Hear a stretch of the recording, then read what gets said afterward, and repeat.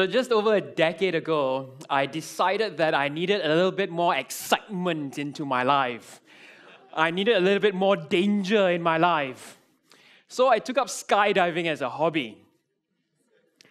I found myself a drop zone and I signed up for lessons. And right from day one, we were drilled on the most fundamental skill of skydiving, and that is the stable body position. Now, to get into the stable body position, one needs to only think of one word arch. So you arch your back, open up your arms, and bend your legs at the knees. And naturally, you would find yourself flying in what we call the belly to earth position. Now, it's a position that gives you maximum control in the sky and allows you to deploy your parachute safely. So, at every single jump, we were drilled on this aspect. Then came my 25th jump. Peculiarly, the name of that stage was called Unstable Exit. Now, I wasn't sure exactly what I was expected to perform, but I think the name did give a useful hint. So I was assigned my instructor who explained it all to me. And he said, Thaddeus, there will be times in your skydiving when something will go awry in the sky. You might hit the aircraft on your way out. Someone might bump into you, or a maneuver could unexpectedly break apart. Now, any of those will throw you off balance, and it will be critical and crucial that you're able to get back into the stable body position. Now, in order for me to assess your competency in that, I need to deliberately get you out of the plane in an unstable position. Hence, unstable exit. So, this is how it's going to work, he says. Imagine on a plane, and the plane's flying in that direction, and you're seated on the floor of the aeroplane looking towards the back of the aircraft. Now, on the side, there'll be a door. And above the door, there'll be two sets of lights one red, one green. Now, once we get up to an altitude of 12,000 feet, the red light will come on. That means prepare to jump. Now, as the jump master, I will open up the door. And when the pilot determines that it is now safe to jump, please go ahead, he will turn on the green light. Now, at that point, I'd like you to come to the door and get right up to the edge without falling out. And turn and face the inside of the aircraft. Then I'm going to get you to squat all the way down, bring your knees to your chest, and wrap your arms around your legs. Now I'm going to be inside the aircraft, and I'll be holding on to your chest strap. And I will count ready, set, go. On go, I will give you a push, and you would tumble out the aircraft. At that point, all you will see is blue, green, blue, green, blue, green. The blue of the sky and the green of the fields below. I'd like you to count to three revolutions and then arch and get back into your stable body position. I'll be inside the aircraft watching you. The moment I see that you're able to arch into your stable position, I will pass you for the stage. If you do not get into your body, a stable body position, I will fail you. But then again, Thaddeus, if you do not get into the stable body position, failing this course will be the least of your worries. But know you will do it, and I, I know you can do it. Right? And oh, by the way, Thaddeus, this is going to be the best jump ever. and all I could think of at that time was no, it's not. it's a stupid jump. It's risky and it's foolhardy. I'm not sure I want to, and to be honest, I'm not sure I can.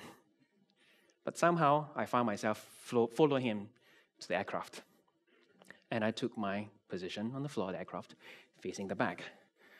Now, the ride up to altitude is uneventful until the red light comes on. My jump master opens up the door, and immediately the relative quiet and calm of the cabin is replaced by this howl of the wind and the roar of the engines and just freezing, biting cold. And at this point, my mind is just racing at terminal velocity, and I can't even hear myself think. And all too soon, the green light comes on. And somehow, above all that din of that noise, I hear my instructor going, To the door! To the door! And I inch there, getting up right up to it. Like, oh God, it's high. And I'm turning around, I'm thinking, okay, what? Okay, squat all the way down, count my knees. And I'm just about going there, and I'm looking into the eyes of my instructor, looking for some reassurance and some hope. And I'm just barely halfway there when he goes, Go! you know what it's like? The feeling of betrayal? okay. That was me falling out of the aircraft. And immediately I'm flipping, I'm flopping in the air, I'm turning in involuntary cartwheels. And it's not so much blue, green, blue, and green as it is blue, green, legs, arms, and everything's flying everywhere. I'm in this mile high washing machine on spinner mode. And after three revolutions, I think, I go, arch. And it works. I get into that stable position. My heart begins to emerge back out of my mouth, and all is calm again. And I deploy my parachute and I ride safely down to earth. And the moment I get down there, my instructor comes up to me and he goes, So, Thaddeus, how was it? it's the best jump of my life. now, that instructor took me for just that one jump.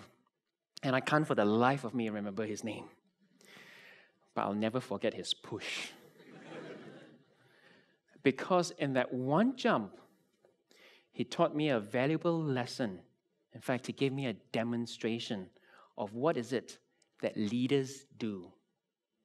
That leaders would push you out of that false assurance of your comfort zone into the space of real growth and exceptional performance. Leaders will push you beyond your own perceived limits. And leaders will push you towards surpassing yourself, even if you didn't think you could in the beginning. About two years after that, I decided that I was going to take another step out of my comfort zone. That I was really now truly going to live life at the edge and to conquer a near paralyzing fear.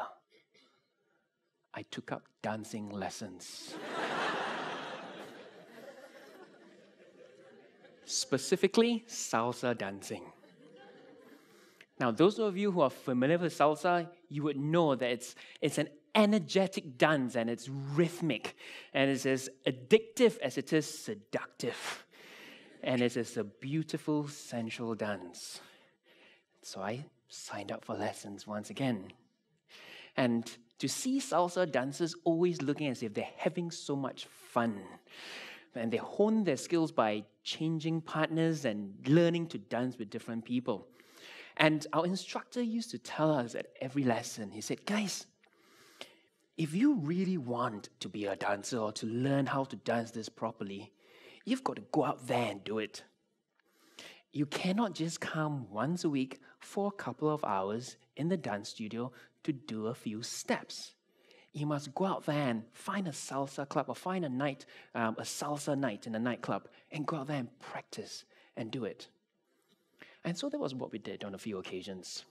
My classmates and I would go out to the salsa club. And to be honest, and in hindsight, I was probably too self conscious to ever make it as a vaguely competent salsa dancer somehow just being on a dance floor with dozens of pairs of eyes looking at me just got me too anxious and I'd be thinking, oh, what if what if I get it wrong? You know, what what if I step on my partner's toes? What what what if what if what if what if I? And so you might say that I suffered from SPA, salsa performance anxiety. so what I did, what I did was I'll take my partner to a darker, more deserted part of the nightclub. And, and we just step on each other's toes there.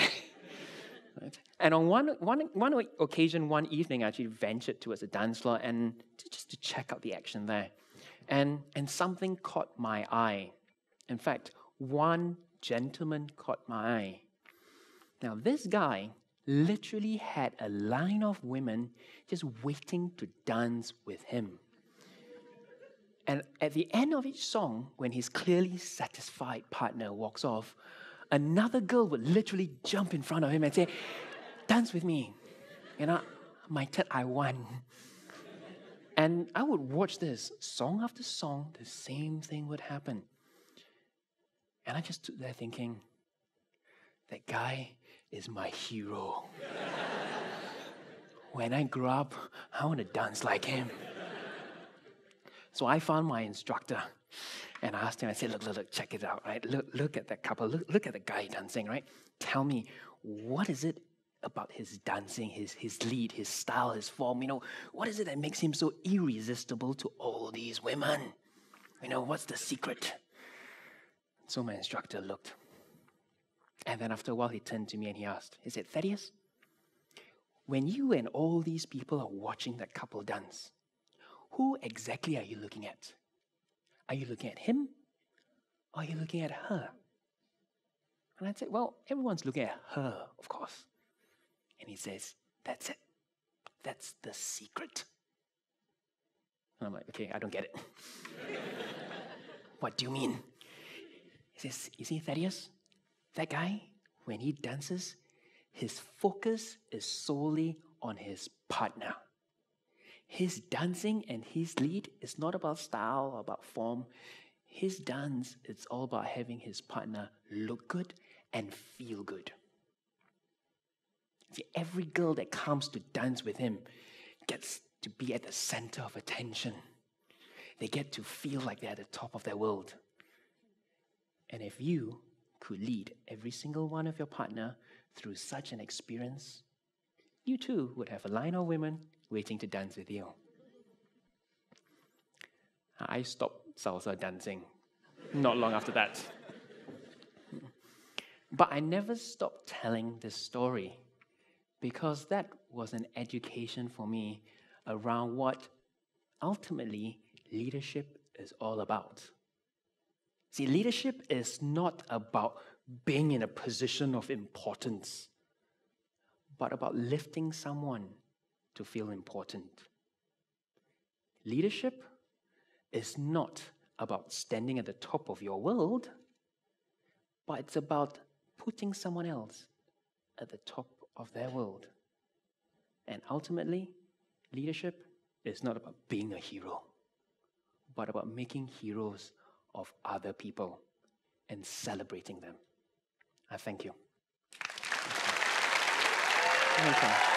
Thank you.